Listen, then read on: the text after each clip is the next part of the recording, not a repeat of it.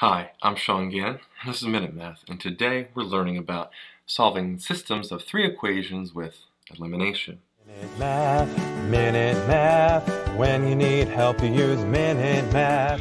We're given this problem right here. 4x plus 4y plus z equals 24. 2x minus 4y plus z equals 0.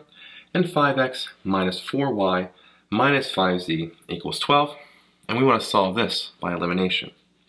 We want to find two equations that when we add them together, some variable eliminates. I can see my first two equations, we can do that. If we rewrite this, 4x plus 4y plus z equals a 24.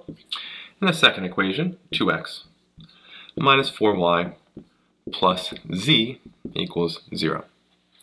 And from here, right, what we can see is, well, we can add the two values here to eliminate the variable y. 4y plus, or positive 4y minus 4y gives me 0. So they eliminate, hence the method, and we add the rest. So we have 4x plus 2x, which is a 6x, and a z plus z is a 2z. 24 plus 0, well, 24. Not too bad. All right, but we have two variables here. So let's see if we can take two other equations and we can eliminate, uh, eliminate them to get, again, another variable gone. Well, if I look at the first equation and the last equation, okay, we can eliminate a variable, the y's. And that's cool. You want the same variable to be eliminated as well. So let's rewrite that here. 4x plus 4y plus z equals to 24. And the last equation, 5x minus 4y minus 5z equals a 12. I add these two equations together and look what eliminates. Again, the y. And that was by design. That's why we chose those two equations. Add it together. 4x plus 5x is a 9x. z uh, plus a negative 5z is a negative 4z. And 24 plus a 12 is a 36. So now we have two equations here that each has an x and each has a y, and we can really try to eliminate that, okay? Or find a way to uh, eliminate a variable. I'm looking at my z's. We have a negative 4z here and a positive 2z. If I multiply this second this equation right here all by 2, right, I'd have a 12x plus a 4z equals a 48. I then can bring this equation over underneath it, 9x minus 4z equals a 36. So this, this equation here is the same as this one, just adapted a little, multiplied everything by 2, which is legal in mathematics. That allows us now to eliminate the z.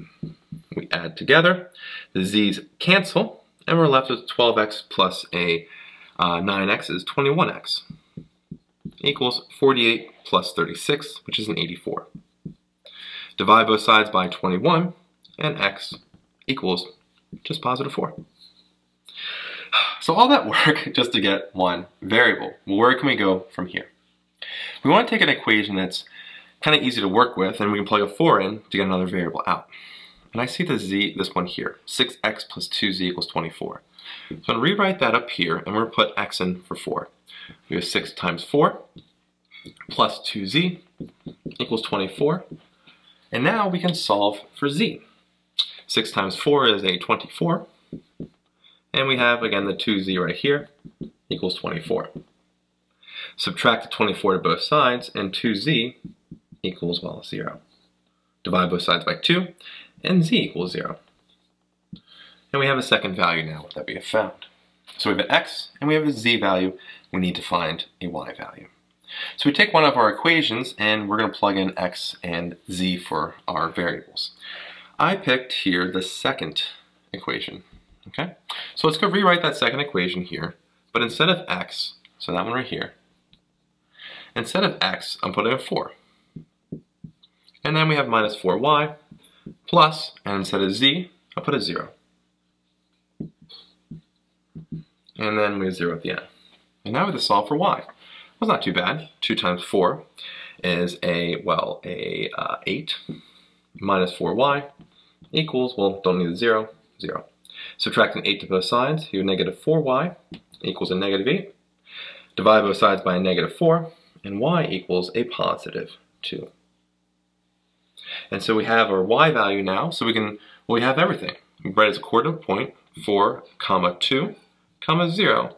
And that's our solution. x is 4, y is 2, and z is 0. And that's our final answer. I hope this video was helpful, and if it was, please subscribe to this YouTube channel and like this video. This helps us make more free math lessons for you and for everyone else. So as always, thanks for watching. Minute Math, Minute Math. When you need help, you use Minute Math.